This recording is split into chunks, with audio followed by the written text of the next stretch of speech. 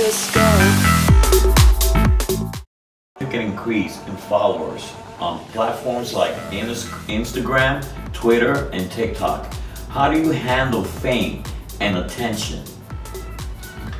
Has it changed your perspective in life?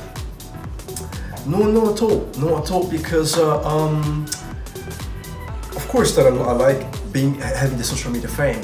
But uh, if you meet me in real life, you know that I'm very down to earth. I like to, you know, hey, let's go, let's grab a beer, let's go to the beach. Uh, but of course, when I'm on stage, those being big in those platforms, it helps you with my work.